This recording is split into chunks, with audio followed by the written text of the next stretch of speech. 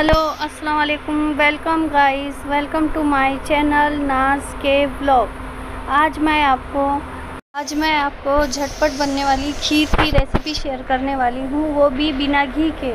जी हाँ बिना घी के मैं ये घी, खीर बनाने वाली हूँ, जो कि साबुदाने और चावल से बन के तैयार होंगी। और सिर्फ़ 10 से 15 मिनट में आप इसको घर पे बना सकते हैं और इतनी टेस्टी बनेंगी कि आप एक बार ट्राई करेंगे तो हमेशा इसी तरीके से बनाएँगे।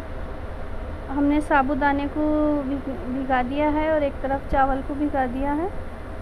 ये झटपट बन के तैयार है। अगर आपके पास टाइम ना हो तो आप इसे बना सकते हैं। दस मिनट के लिए हमने चावल को भिगो दिया था और दस मिनट के लिए साबुदाने को, दोनों को हमने भिगो दिया था।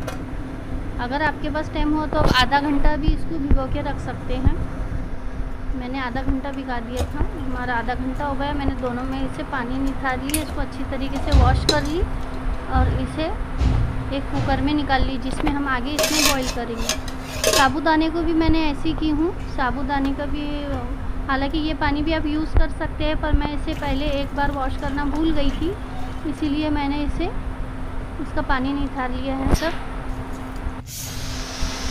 कुकर में ले ली और मैंने इसमें आधा लीटर दूध डालकर इसको 10 से 15 मिनट के लिए ऐसे ही भिगा के रख दी हूँ दूध में। ध्यान रखेंगे सिर्फ़ भिगा के रखी हूँ मैंने, इसे चालू नहीं की हूँ। मतलब सिर्फ़ इसमें ही रखी हूँ, क्योंकि बॉईल भी इसी में करना था, इसीलिए मैंने कुकर में ही इसे वॉश भिगा दी हूँ।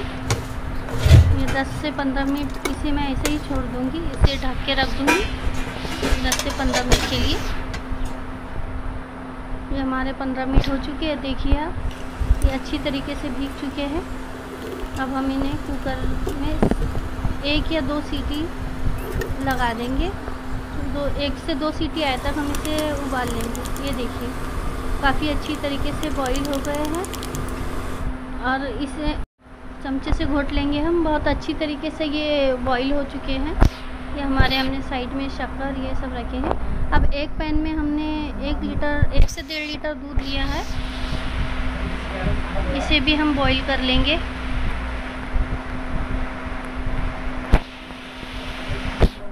कस्टर्ड पाउडर भी मैंने पहले ही रखा है। और ये सब ड्राई फ्रूट्स मैंने बारीक कर ली है। ध्यान रखिए, मैंने इसमें घी का यूज़ नहीं किया है। विदाउट घी के मैं ये खीर बनाने वाली हूँ आज। इलायची पाउडर सब ड्राई फ्रूट्स और कस्टर्ड पाउडर शक्कर है। और ये हमने साबुदाने और वो डाले थे, साबुदाने और चावल। बॉयल है वो। कस्टर्ड पाउडर डालेंगे इसमें। दूध में बॉयल आ गया। बॉयल आने के बाद हमें ये कस्टर्ड पाउडर इसमें मिलाना है। और इसे 10 मिनट के लिए बॉईल होने देंगे।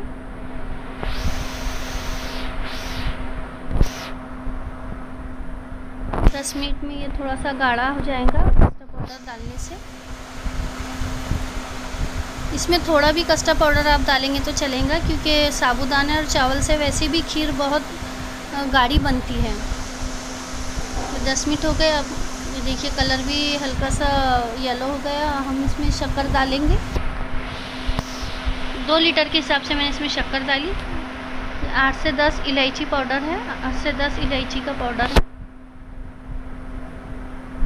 मैं तो जब भी खीर बनाती हूँ या शीरकुरमा बनाती हूँ या फ्रूट कस्टर्ड बनाती हूँ, मैं उसको ऐसे ही बॉईल करती हूँ और उसमें मैं कभी डेट्स डालना नहीं भूलती क्योंकि डेट से भी दूध जो है वो घट होता है, बहुत हेल्दी बनता है।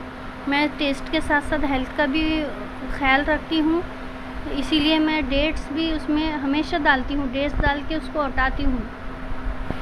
अच्छी तरीके से उसको बॉईल करती हूँ जो डेट्स के भी जो हमें विटामिन प्रोटीन जो मिलना चाहिए वो भी हमें इस, इस तरीके से मिल जाते हैं। और ये खीर आप चार पाँच दिन रख के भी इसे खा सकते हैं इसमें घी नहीं है। ये जितनी चिल्ड होंगी उसे बाहर निकालेंगे आप बॉयल दूध उसमें मिलाएँगे और फिर खा सकते हैं। या फिर बिना आ, बिना गरम करे भी आप इसे खा सकते हैं। चिल्ड भी ये बहुत अच्छी लगती है। ये हमने चावल और साबुदाना जो हमने उबाला था, वो उसमें धीरे धीरे करके ऐड करते जाएँगे और ये खीर को हिलाते जाएँगे। देखिए, साबुदाना और जो चावल है हमारे, वो काफ़ी अच्छी तरीके से बॉईल हो चुके हैं।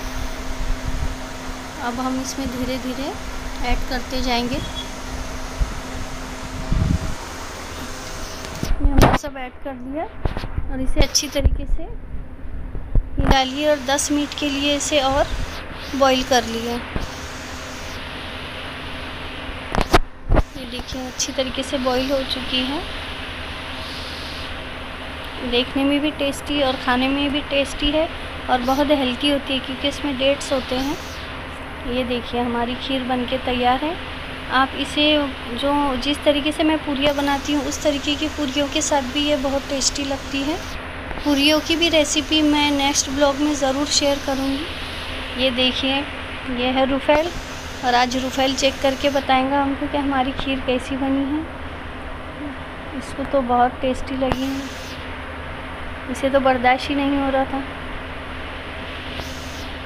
ये जल्दी से रुफेल ने टेस्ट किया। हो, रुफेल को तो बहुत टेस्टी लगी।